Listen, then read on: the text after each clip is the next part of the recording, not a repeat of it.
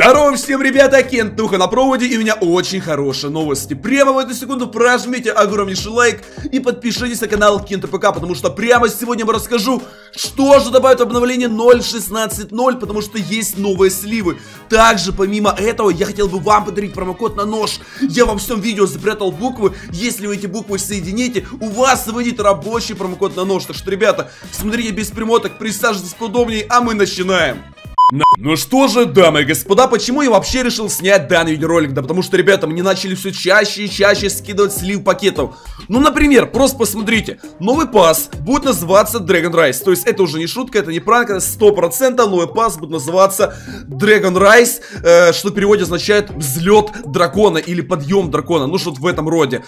Э, что же будет в этом пасе? Мы знаем то, что будет новая МК, мы знаем то, что будет пулемет, и мы знаем то, что будет новый нож. А теперь давайте об обо всем по порядку. Ну а прямо сейчас, ребятки, для того, чтобы узнать, какой же новый нож будет в обновлении, нам необходимо немножко переместиться в трейлер. Посмотрите внимательно, что же мы видим, ребят. Это новый нож Танта. Внимательно на него посмотрите, потому что вы просто будете в шоке. Да, вот я его даже нашел в интернете, максимально похож. Ребята, это самурайский кинжал. У нас э, как раз весь трейлер сделан в стилистике самурая, в стилистике Японии, в стилистике Сакуры, поэтому новый нож будет Танта. В новой коллекции Dragon Rise это мы с вами уже уяснили поняли. Ну а прямо сейчас, ребятки, будет очень важный нюанс, потому что многие из вас, смотря на этот пулемет, не понимают, что же это за пулемет.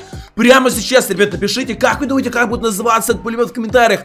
А я лично выскажу свое предположение. Этот пулемет, ну, максимально похож на М60 с прицелом. Ну, ребятки, ну просто посмотрите, ну вылитый же. Не? Я уверен, я могу даже с кем-то поспорить на тысячу голды, что это будет именно М60 с прицелом. Поэтому разработчики ждем пулемет, потому что я хочу мою тысячу голды. ну а прямо сейчас, ребятки, самое интересное, потому что есть пакеты данных, их перехватили, и мы прямо сейчас можем узнать самую крутую и самую инсайдерскую инфу. Ну что же, полетели.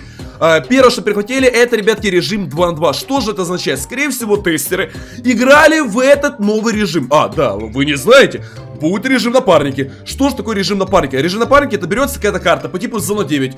Берется один плент, например, плент А. И вы должны играть 2 на 2 в пленту А. Э, в этом режиме напарники есть свои звания, есть калибровка. То есть берете себе самого крутого киберспортивного друга, играете с ним 2 на 2 и получаете, например, звание легенда. Конечно же, этот режим нагло скоммуниздили из CSGO. Но, тем не менее, очень круто. Например, режим эскалации мне из всех режимов, которые были в Standoff 2, очень нравится. И он мне нравится больше всех, поэтому я очень сильно буду ждать, чтобы добавили конкретно э, режим напарники. Ну а прямо сейчас мы, ребятки, смотрим те самые сливы. Вам всем интересно, что же это такое? Если вкратце, ну, я вас не буду углублять программирование, тут пошагово написано, что же происходило. Ну, например, смотрите, конкретно в этом моменте видим, что э, разработчик стреляет с АКРа, э, после этого зарезал э, с керампита, сделал хедшот, потом надамажил с М16, ну и так далее. То есть, по сути, ребят, тут ничего такого важного нету. Есть один максимально важный момент, я вам сейчас его покажу. Ладно, ребята, короче, полчаса искал строчку, но я ее где-то потерял. Короче, там была строчка АКР минус 28. Что же, э, что же это означает? Это означает то, что, скорее всего, будет новый скин на АКР под названием АКР минус 28. Вот это, ребят, ну прям очень круто, потому что Мало ли кто не знает, это тот самый удаленный скин. Да, ребята, он был раньше в стендофе. Потом разработчики его удалили и походу пытаются обратно добавить игру. Это очень круто. Поставьте за это лайк. Также, ребятки, я прекрасно понимаю, что каждый из вас любит подарки. Но я скажу честно, я тоже обожаю подарки. Так вот, какие же мы вместе с вами получим подарочки за обновление 0.16.0? Ну, то есть за этот прошлый сезон, да? Прямо сейчас нам показывают все эти награды, ребят, посмотрите на все эти прикольные брелки.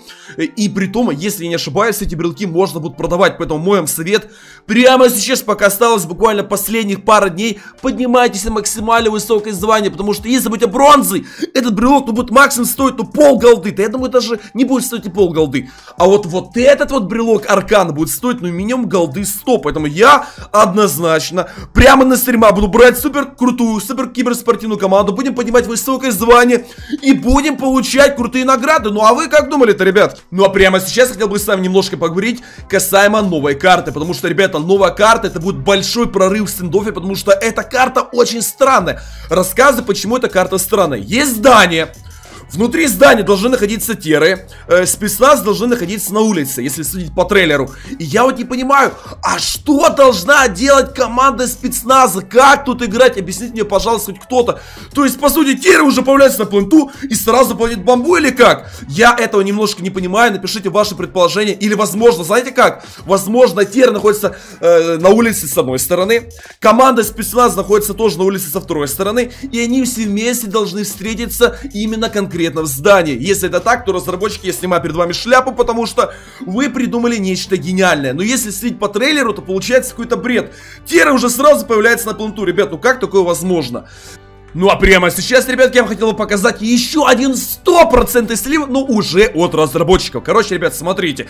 Я думаю, вы все знаете, что разработчики загружают разные скрины, например, в Play Market, э, Web Gallery, Web Store, ну и так далее. То есть посмотрите на этот скриншот. Вопрос к специалистам. Почему нахрен про это никто не сказал? Мы же тут видим новый скин. Да, ребята, это не шуточки. То есть давайте посмотрим. Я говорю не про этот Нэш. Это, скорее всего, обычный флиплайф. То есть тут ничего новенького нету. Я говорю конкретно про этот э, АКР. АКР АКР-12 Спорт. Да, если не ошибаюсь, то, ребята, это новый скин АКР-12 Спорт. Он будет в новой коллекции под названием Dragon Rise. И вы просто посмотрите, какой же он классный. Я вот смотрю, я скажу сразу, мне кажется, он будет аркана, и я с большим, при большим удовольствием этот скин, конечно же, себе куплю. Потому что, ребята, это просто что-то с чем-то. Так что, вот он еще слив одного скина. Ну а прямо сейчас нам показываю еще один очень интересный момент. Что же мы тут видим? Мы видим, что Стендов 2 попал э, в раздел новинки и обновления. Вам всем интересно, а как он мог попасть в раздел новинки и обновления, если обновления не было полгода? А знаете все почему? Потому что, скорее всего, обновление уже загрузили в Web Gallery. Модераторы просто его просмотрят, проверят, одобрят, и после этого обновление уже должно выйти. То есть, грубо говоря, как только заканчивается Furious акция, сразу после этого обновление должно выйти уже и в Play Market, и в Web Gallery, и везде, везде, везде. Это очень хороший инсайт, который нам говорит, то, что обнова должна выйти уже вот-вот-вот, прям скоро. Я вам еще раз напоминаю то, что Furious коллекция выйдет на рынок, не стоит об этом забывать. Но вы, уважаемые подписчики, прямо сейчас прожмите лайк, подпишитесь на мой канал и напишите любой хороший комментарий. Надеюсь, вы успели активировать промокод. Всем удачи! удачи, всем пока.